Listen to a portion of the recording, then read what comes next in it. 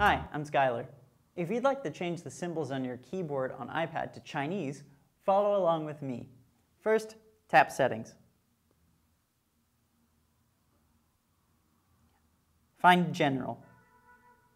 Under General, scroll down. Tap International. From International, tap Keyboards. I've already added Chinese Simplified and Chinese Handwriting Simplified to my iPad.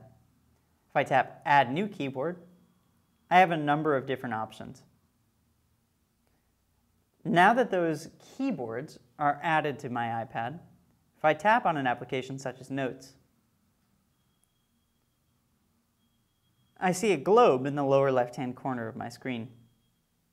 If I tap it, it cycles between the different keyboards I have set up. If I hold it, it shows me a menu.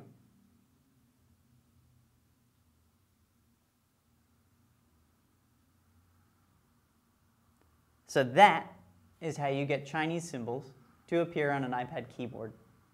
Thanks for watching. I'm Skylar.